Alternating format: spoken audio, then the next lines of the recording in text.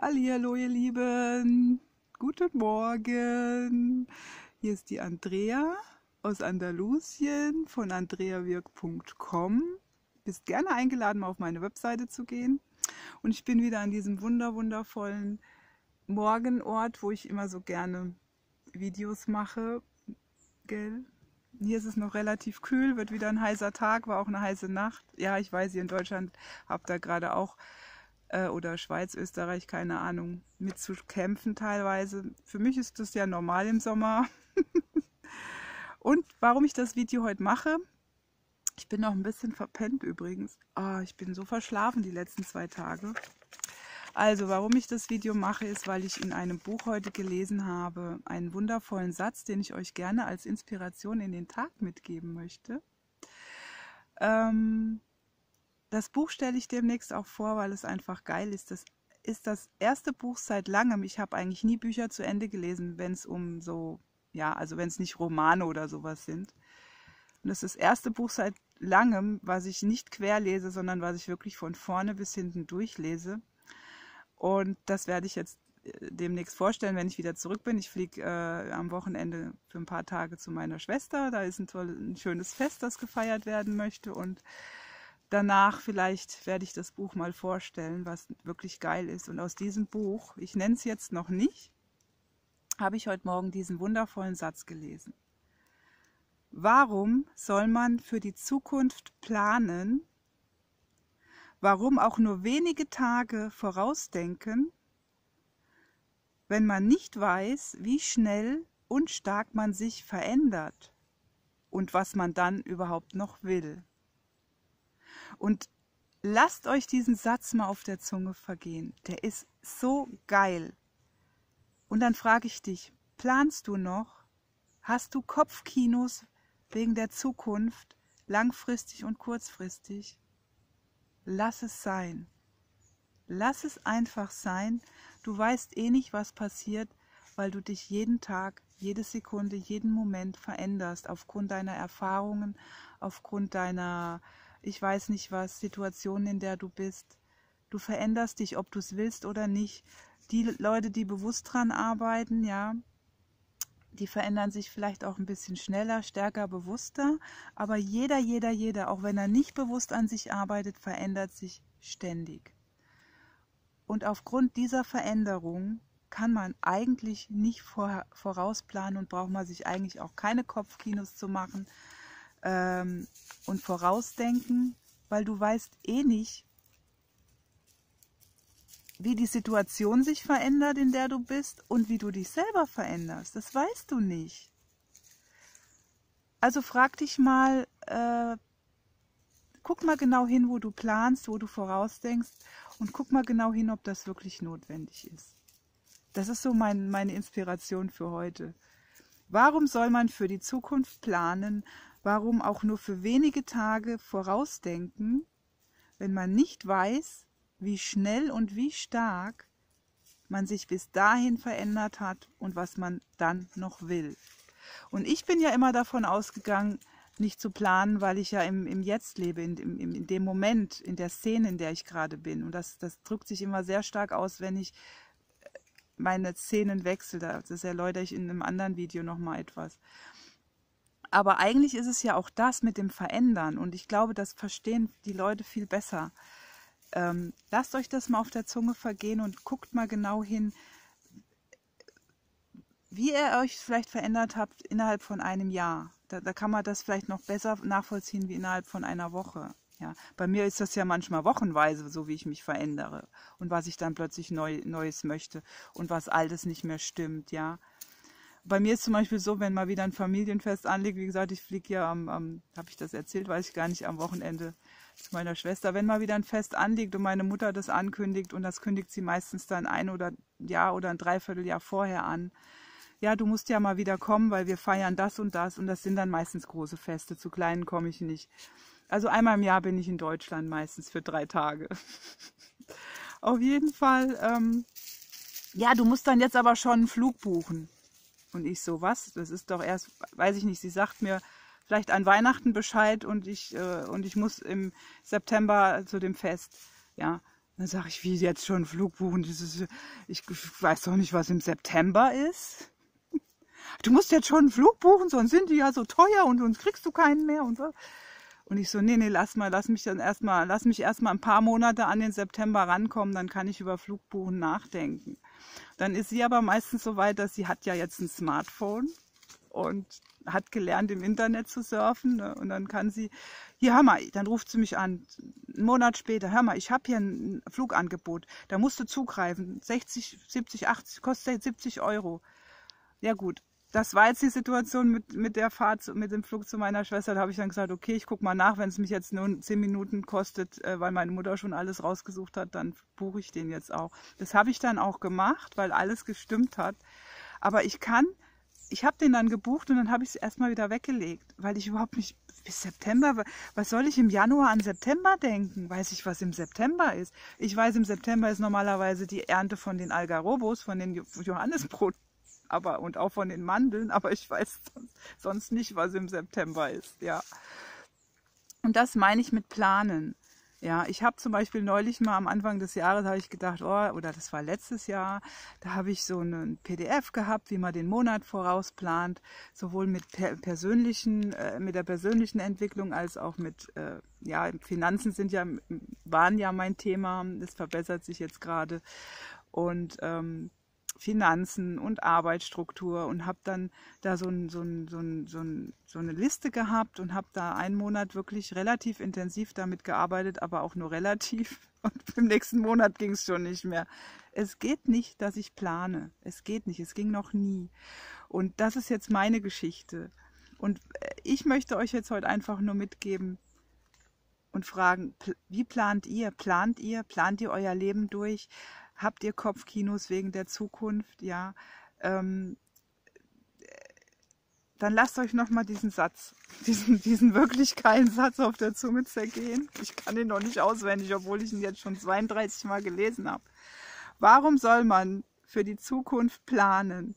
Warum auch nur wenige Tage vorausdenken? Ja, wenn man nicht weiß, wie stark und schnell man sich verändert und was man bis dahin überhaupt noch will. Zum Beispiel, wenn ich überlege, ich, ich, ich koche mir übermorgen Spaghetti, ja. Und dann habe ich übermorgen überhaupt keinen Bock auf Spaghetti. Vielleicht habe ich ja überübermorgen Bock oder heute, ja. Zum Beispiel. Oder wenn ich eine Reise plane. Meine Nichte war ja jetzt dieses Jahr in Afrika. Äh, das, ich, irgendwie komme ich jetzt gerade auf Afrika, weil da muss man ja wirklich auch planen, glaube ich ziemlich teure Geschichte ist das dann ja immer, wenn man nach Afrika geht. Diese ganzen Lodgen kosten ja ziemlich Schweinegeld und auch diese Safari-Geschichten. Auch der Flug, keine Ahnung, was man da so hinlegt. Ja, wer, wer, sich, wer das machen will, soll er machen. Freut mich ja, wenn, das, wenn, wenn ihm das gefällt. Auf jeden Fall wird dann ja geplant, meistens schon im Jahr vorher. Ja. Und Du planst ein Jahr vorher eine Afrikareise, die ein Schweinegeld kostet. Und vielleicht hast du ein Jahr später überhaupt keinen Bock mehr drauf, weil du dich ja verändert hast. Und dann machst du diese Reise, weil du ja so viel Geld dafür hingeplättert hast und hast eigentlich überhaupt keinen Bock drauf. Das ist das, was ich meine. Wahrscheinlich hast du Bock drauf, weil so eine Reise ist ja einfach nur geil, aber ähm, zu planen oder auch eine Hochzeit ja, du planst eine Hochzeit im Voraus, weiß ich nicht. Normalerweise plant man ja eine Hochzeit ein halbes Jahr, ein Jahr im Voraus schon. Ich weiß ja, wie das ist. Mein, mein, mein, mein Ex-Lebensgefährte ist Fotograf. Und äh, der wurde dann schon ein Jahr vorher gebucht, teilweise für die, für die Hochzeitsfotos oder ein Dreivierteljahr. Und äh, in der Zeit kann sich noch total viel verändern. Ich weiß mal, einmal da war es so, da, da wurde die Hochzeit abgesagt, weil die sich dann getrennt haben innerhalb des Dreivierteljahres weil man sich vielleicht verändert und merkt, man will mit demjenigen gar nicht mehr zusammen sein. Ja, das geht nicht. Man kann nicht planen. Und ich, mein Input für heute ist, wenn du magst, weil Planen schränkt ja auch ein und ich mache ja meine, mache ja gerne Videos, die so Freiheit präsentieren, damit man in seine innere Freiheit auch kommt und in seinen inneren Frieden. Und Planen ist für mich eine Einschränkung. Du schränkst dich im Vorfeld schon ein für irgendwas, wo du gar nicht weißt, ob dir das dann nachher Freude macht. Und klar, wenn man eine Arbeitsstelle hat, äh, wo man planen muss, dann sehe ich das ja noch ein, dann gehört es ja zu dem Arbeitsleben. Aber wenn das, ich gehe jetzt mal so vom Privatleben aus. Wobei das Arbeitsleben musst du auch nicht unbedingt planen. Ja, ich plane auch meine Termine, wenn es hochkommt, eine Woche vorher. Meistens ein, von einem Tag auf den anderen oder ja, sagen wir übernächste Tag, ja, wenn ich, wenn ich irgendwelche telefonischen Termine habe oder so oder Skype-Termine oder Coachings, ja, die mache ich nicht, äh, sag nicht, ja, im nächsten Monat machen wir das Coaching. Das Coaching mache ich so schnell wie möglich, weil derjenige braucht es. Oder die Kartenlegung oder wenn ich ein Gespräch habe mit jemandem, der eine Webseite braucht oder weiß ich nicht, ja. Ähm, weil ich mache ja auch Webdesign. Diese Geschichte und guckt euch mal an, wo ihr noch plant, wo ihr euch verplant, wo ihr im Voraus über Dinge nachdenkt, die überhaupt nicht relevant sind, weil sie noch gar nicht da sind und weil sie vielleicht auch gar nicht kommen, wenn, weil du dich ja veränderst. Verstehst du, was ich meine? Das sind ja auch teilweise Kopfkinos, die man sich für die Zukunft macht. Noch nicht mal nur planen, sondern Kopfkinos, weil man denkt, das könnte, da muss ich vorausdenken, das muss ich machen, das könnte passieren. Nein. Weißt du, wie mein Tag anfängt? Gut, ich kann es mir leisten, weil ich bin ja jetzt keine jemand, der irgendwo zur Arbeit muss. Ich wach morgens auf und gucke, was bringt mir der Tag? Worauf habe ich Lust? Und das mache ich. Manchmal plane ich am Abend, ja, ich müsste ja heute mal wieder putzen. Mal wieder so ein bisschen die Hundewolle von, vom Boden wegkehren, die innerhalb von zwei Tagen ja im Moment immer da ist, weil die ja noch haaren gerade. Und dann wache ich auf und denke, nö, eigentlich habe ich jetzt Bock, eigentlich habe ich jetzt Bock, eine Kartenlegung zu machen oder einen Dreamcatcher oder eigentlich möchte ich einfach nur rumsurfen oder mich hinlegen oder ein Buch lesen oder ins Dorf gehen, jemanden treffen oder gar nichts machen. Einfach nur hinspüren. Und dann mache ich das. Und dann wird halt am nächsten Tag gekehrt oder geputzt oder was auch immer. Ja? Und dann wache ich vielleicht am nächsten Tag auf und denke, ja, jetzt, jetzt habe ich Lust zu putzen. Jetzt will ich putzen. Jetzt ist der Tag. Und dann mache ich's.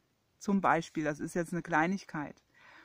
Ich habe nur drei, zwei feste Tage in, in, in der Woche, das ist der Mittwoch und der Samstag, wobei die auch, ich meine, die sind fest, weil Mittwochs ist Markt und ich gehe halt gern auf den Markt einkaufen. Und äh, samstags gehe ich halt immer in den Ort und treffe mich mit Freunden und da, äh, da gehe ich dann halt den Rest einkaufen. Ich habe ja kein Auto, ich muss das ein bisschen splitten. Ähm, Deswegen habe ich zwei feste Tage. Wenn ich die nicht hätte, wüsste ich auch gar nicht, was für ein Wochentag ist.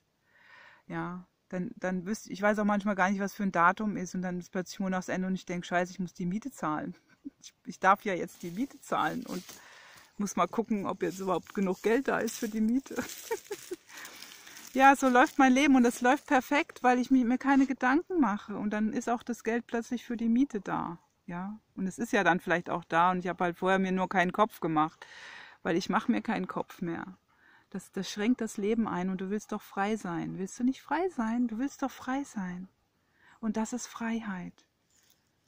Zu gucken an dem Tag, auf was habe ich Bock. Und dann machst du das.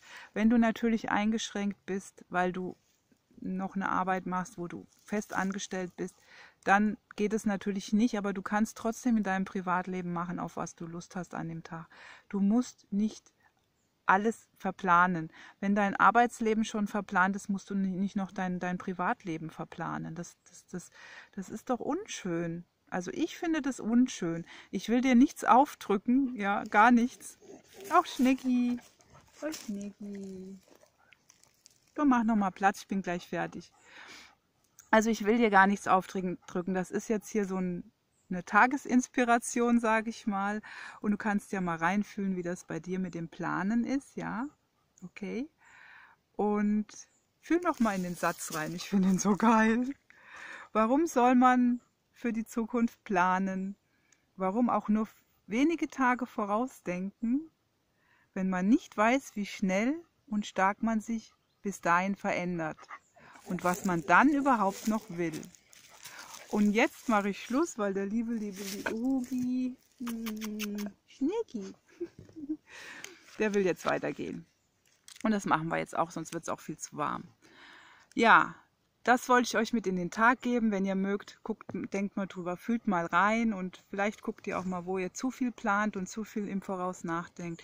Das kann man reduzieren und ich wünsche euch viel Freude in eurer Veränderung. Jeder verändert sich, jeder.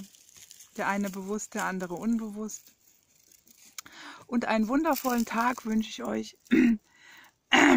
Buch genießt diese Sonne, die Wärme, die ihr habt. Ich weiß, viele stöhnen jetzt in Deutschland und Schweiz, Österreich, was weiß ich, weil es zu heiß ist. Aber es ist einfach geil, wenn Sommer warm ist. Ich freue mich, dass es heiß ist. Dann habe ich hier nicht so eine, wenn ich nach Deutschland fliege, jetzt Ende der Woche, habe ich nicht so eine extreme Temperaturschwankung. Dann kann ich mich wie zu Hause fühlen. Ja, mal gucken, vielleicht mache ich noch heute Abend eine Legung zum Neumond. Da tut sich gerade bei mir was Regen.